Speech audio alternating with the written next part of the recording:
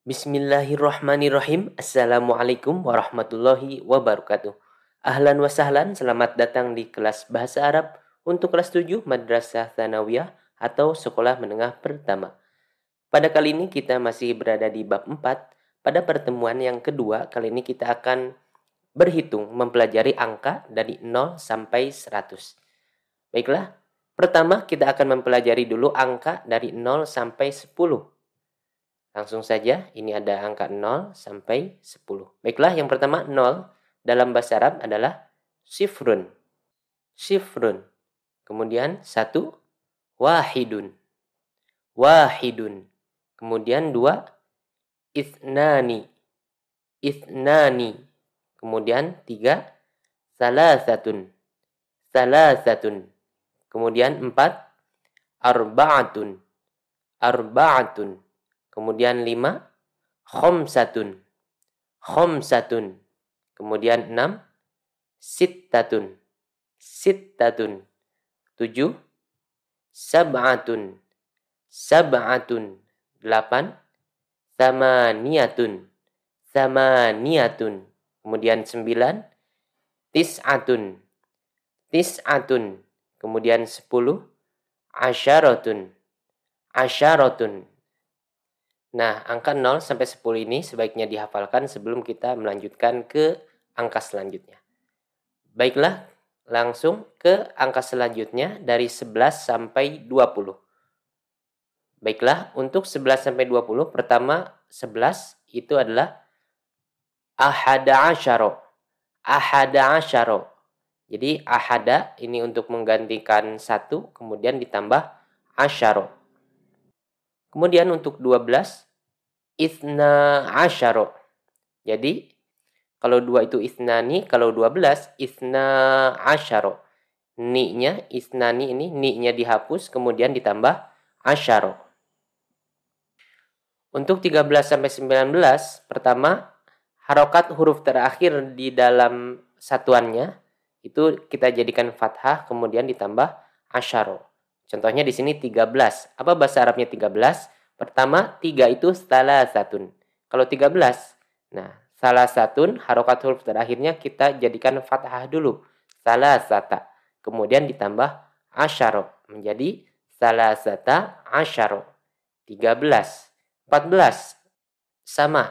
Arbaatun, harokat huruf terakhirnya kita jadikan fathah.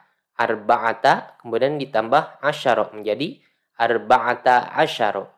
15 ini khomsatun 5 kalau 15 khomsata asyaro.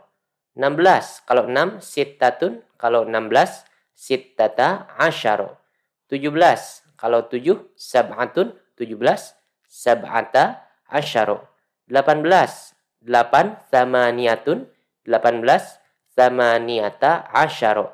19 9 tis'atun 19 tis'ata asyaro jadi tinggal kita jadikan dulu harokat huruf terakhir ini fathah, kemudian ditambah asyaro. Itu dari 13 sampai 19. Kalau untuk 12, ini nunnya dihilangkan yang terakhir tambah asyaro. Kalau 11, pakai ahada ya. Ahada kemudian asyaro. 20, ishruna. Ini beda sendiri. Dihafalkan 20, ishruna. Baiklah, kita lanjut ke puluhan. 10, 20, 30, 40 dan seterusnya. Baiklah di sini ada 10, 20, 30, 40 dan seterusnya sampai 100. Pertama 10 sudah kita pelajari apa? Asyaratun, kemudian 20 juga tadi barusan kita pelajari ishruna. Nah, untuk 30 sampai 90 ini pertama kita lihat di angka satuannya. Ini tak marbutohnya kita hilangkan kemudian ditambah waw dan nun. Contoh di sini Tiga itu salah satun. Kalau tiga puluh, pertama kita hilangkan tunnya menjadi salah su. Kemudian ditambah waw dan nun menjadi salah salasuna. Nah, seperti ini ya. Jadi tak marbutohnya kita hilangkan, kemudian ditambah waw dan nun.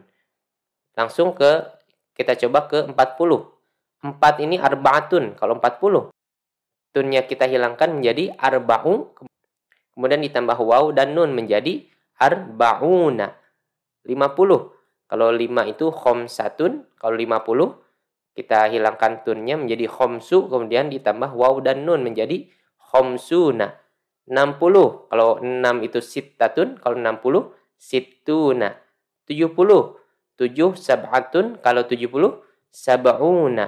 80 8 samaniatun kalau 80 samanuna.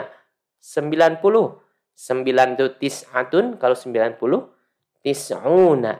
Nah jadi untuk 30 sampai 90 nanti tak marbutohnya kita hilangkan kemudian ditambah waw dan nun. Kemudian untuk 100 ini beda kita hafalkan. 100 dalam bahasa Arab adalah mi'atun. Apa? Mi'atun. Nah ini puluhan. Baiklah sekarang bagaimana kalau misalkan puluhan ditambah satuan seperti 32 atau 45 atau 67 dan sebagainya. Baiklah, rumusnya pertama kita sebutkan dulu satuannya, kemudian ditambah wa, kemudian ditambah puluhannya. Langsung saja e, contohnya supaya lebih paham. Contohnya di sini ada 31.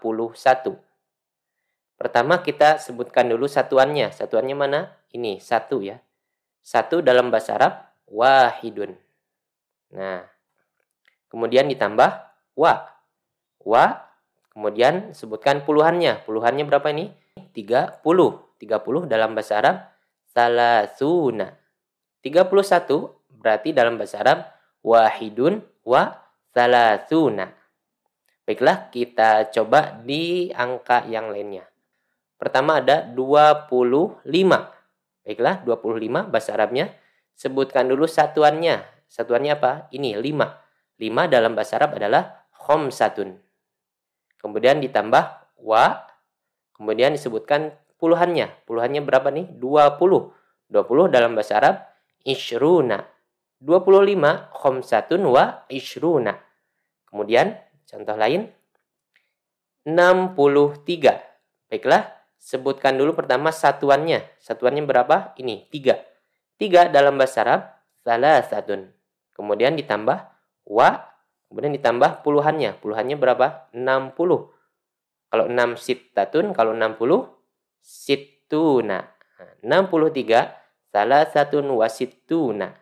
Baiklah, yang terakhir di sini ada 98. Pertama sebutkan dulu satuannya. Satuannya adalah 8. 8 dalam bahasa Arab sama niatun. Kemudian ditambah wa, kemudian ditambah puluhannya itu 90. 90 dalam bahasa Arab apa? Kalau 9 itu tis'atun, kalau 90 tis'una. 98 dalam bahasa Arab adalah niatun wa tis'una. Nah, gampang kan? Baiklah, sekarang kita latihan. Eh, di sini ada beberapa contoh tanya jawab ya. Yang pertama, Marokmu tilfunika. Apa atau berapa nomor teleponmu? Kemudian dijawab, Rokmu tilfuni, nomor telepon saya 021, kemudian 703254. Baik, apa, apa bahasa Arabnya? Pertama kita sebutkan dulu yang dari lingkaran. Kemudian untuk angka kita sebutkan atau baca dari kiri dulu ya. Berarti ini dulu ya, 0, 3, 0, 2, 1. Baiklah. 0, 21 berapa? Sifar isnani wahid. Sifar isnani wahid. Kemudian ini sab'ah sifar salasah isnani khomsah arba'ah. Nah, gitu ya. Kemudian di bawahnya marok mujawalika. Berapa nomor HP-mu?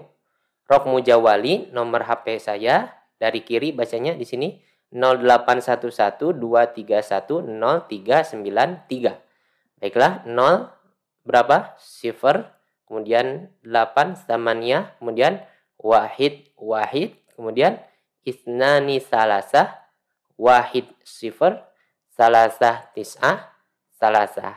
Nah, ini untuk penyebutan uh, angka telepon dan uh, eh, HP. Jadi kalau misalkan telepon, jangan lupa dari yang dalam kurung dulu, terus dibacanya angka dari kiri ya. Yang untuk HP juga sama angka dibaca dari kiri. Sekarang untuk nomor rumah. Marokmu baitika, berapa nomor rumahmu? Rokmu baiti, nah ini salah ngetik ya harusnya baiti, yaiti. Rokmu baiti, anggap aja benar. Rokmu baiti 27. Nah, untuk nomor rumah biasanya itu nomor urut. Jadi kita tidak baca satu-satu, tidak kita baca 27, tapi kita baca 27 karena biasanya dia nomor urut. Baiklah, rokmu baiti 27. 27 bahasa Arabnya apa? Pertama, satuannya dulu apa? Sab'atun. Kemudian ditambah wa, sab'atun wa, tambah puluhannya 20. 20 bahasa Arabnya apa? Ishruna. Berarti 27 sab'atun wa ishruna. Rokmu baiti sab'atun wa ishruna. Kemudian di sini contoh terakhir. Kam adadut tulabi fil fasli. Berapa jumlah siswa di dalam kelas? Adadut tulabi fil fasli. Jumlah siswa di dalam kelas 32 toliban. Nah 32. 32 ini bahasa Arabnya apa? Pertama, dua dulu. Dua bahasa Arabnya adalah isnani, kemudian ditambah wa isnani wa tambah 30. 30 bahasa Arabnya apa? Salasuna. 32 isnani wa salasuna. Fil fasli isnani wa salasuna taliban. Ada 32 siswa. Nah, itu saja pelajaran kita kali ini. Dipelajari, dipraktekkan, dan diperbanyak latihan agar lebih paham lagi. Syukron ilaliko. Assalamualaikum warahmatullahi wabarakatuh.